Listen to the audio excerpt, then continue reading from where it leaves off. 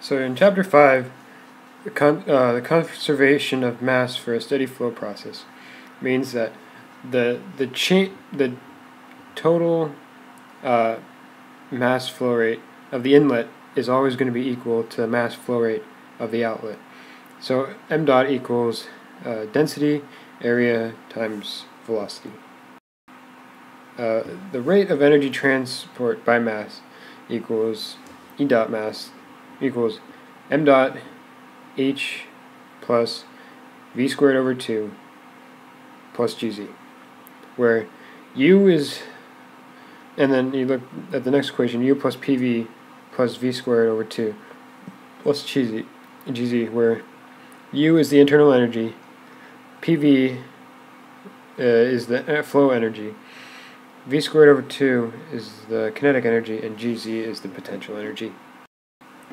For the energy balance of an open system, it's always going to be Qn plus uh, Q dot n plus W dot n plus delta m dot of the inlet times H plus V squared over 2 plus Gz equals Q, Q dot out plus work dot out plus the delta m dot of the outlet uh, times H plus V squared over 2 plus Gz.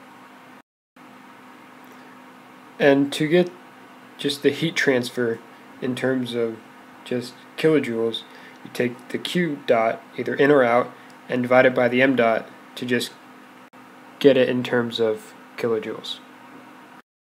So the devices and control volume. So a nozzle is where you have the inlet um, area is larger than the outlet area so you're going to have increased pressure and velocity going through it.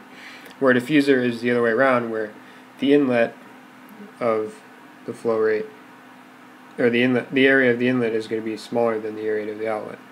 Then there's turbines, compressors, and pumps, where a turbine uses energy or uses the heat to create work.